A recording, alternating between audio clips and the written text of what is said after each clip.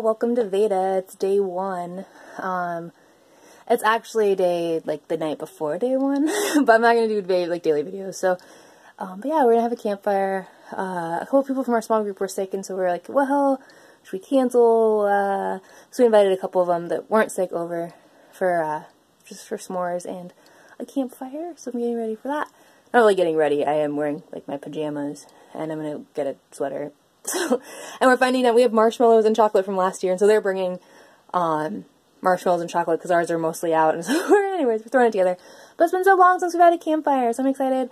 Um, a great way to start off day one of Veda. Uh, and we'll see how many I do. I don't know if I'll do too many videos, but I might do more relaxed vlogs just to get back in the habit of videoing. I really like vlogging, so we'll see. Um, but yeah, like I said, it probably won't be daily, but maybe.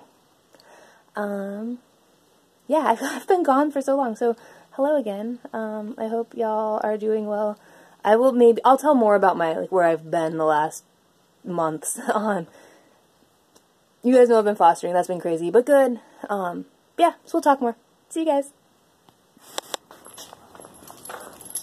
Hi, Rosie. Hi,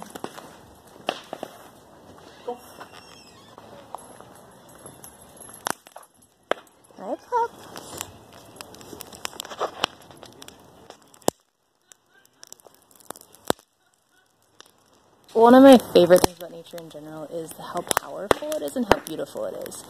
Um, I think fire is a really good example of that. There's just so much beauty and so much power. What are your favorite things about nature? Why? What do you love? Do you love mountains or waterfalls or fire?